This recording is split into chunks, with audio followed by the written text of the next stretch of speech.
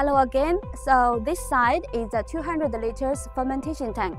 So for this system, we total have five sets, 200 liters fermenter, and coming with a glycol water tank. So this tank uh, will uh, see, uh, store the glycol water, and it will be chilled by the chiller.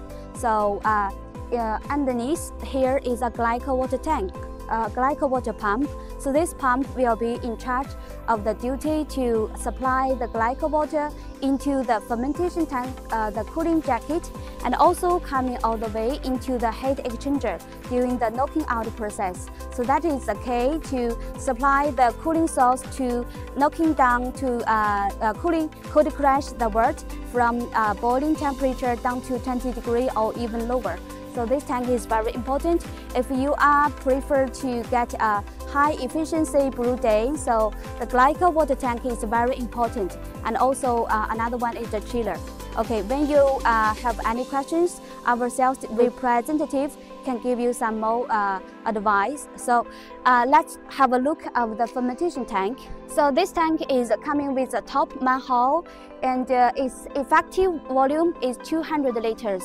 So that means you have an extra 20% head space during the fermentation process and the uh, effect nominal uh, beer you can harvest is uh, at least 200 liters.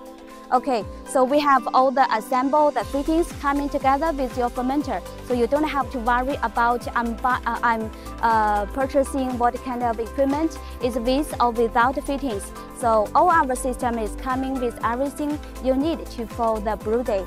Okay, this one is a sample valve. You can take in sample by this, um, this pot.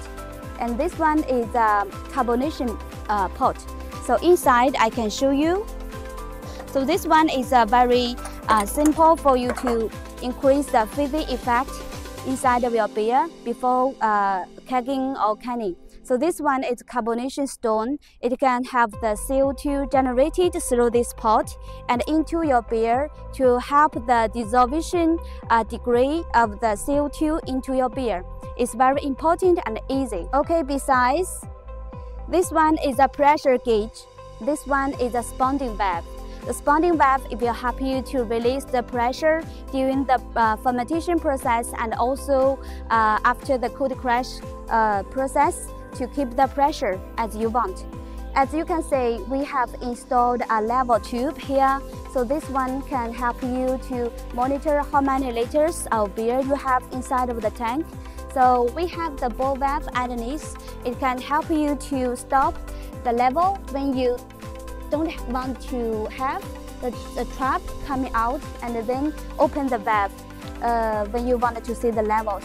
And also we have added a sticker here so you can see the how many liters very easy.